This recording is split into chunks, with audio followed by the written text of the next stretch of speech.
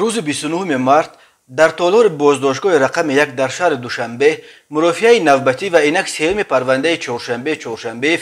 варзишгари ммай аз вилояти мухтори кӯҳистони бадахшон доир шуд. Ба хабарнигорон ин дафъа низ иҷозати иштирок дар мурофиаро надоданд вале радиои озодӣ аз қавли вакилони мудофеъ ва пайвандони чоршанбеев ки ба мурофиа роҳ ёфтанд хабар дод ки додраси додгоҳи ноҳияи исмоили сомонӣ сафар нурализода бо тақозои вакилони варзишгар қарор кардааст то навори суханронии ӯ дар бораи ҳаводиси моҳи ноябри соли 2021 дар хорух аз нав санҷида шавад. Маҳз видеои амин суханронии чоршанбии чоршанбеев далели асосии тафтишот барои айбдор кардани ин варзишгар ба даъватҳо ба тағйир додани сохти қонунӣ дар тоҷикистон шудааст. Чоршанбиев ин иттиҳомро қабул надорад ва мегӯяд танҳо ба ҷавобгарӣ кашондани гунаҳгорони марги гулбидин зиёбековро талаб карда буд. Тасмими додраси парванда барои санҷиши дубораи навори суханронии чоршанбе чоршанбеев дар олест ки як сиёсатшинос аз тоҷикистон бо дархости мақомоти тафтишотӣ ва як устоди забони русӣ аз русия бо дархости вакилони чоршанбеев қаблан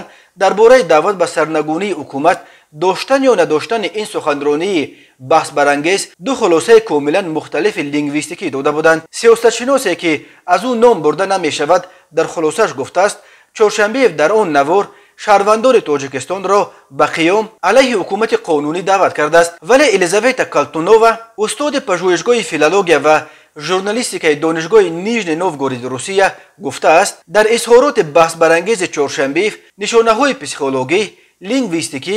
даъват ба содир кардани зӯроварӣ аз ҷумла вобаста ба ҳар гуна тағйирот дар ҷумҳурии тоҷикистон вуҷуд надорад чоршанбе чоршанбеев дар он суханронияш ки дар рӯзҳои эътирозҳои 25-28 ноябри соли 2021 дар хорух сабт шуданд аз ҷумла мегӯяд то кай тоқат кунем ба ин чашм пӯшем ва оё ин аз рӯи адолат аст ба назари ман бояд ба ин рӯйдод вокуниши бештар кунем чоршанбе чоршанбеев бар асоси моддаи 37 кодекси ҷиноятии тоҷикистон ба даъват ба тағйири сохти конститутсионии тоҷикистон айбдор мешавад. Ба варзишгар бар асоси ин банди қонун аз 8 то 15 соли зиндон تهديد میکند.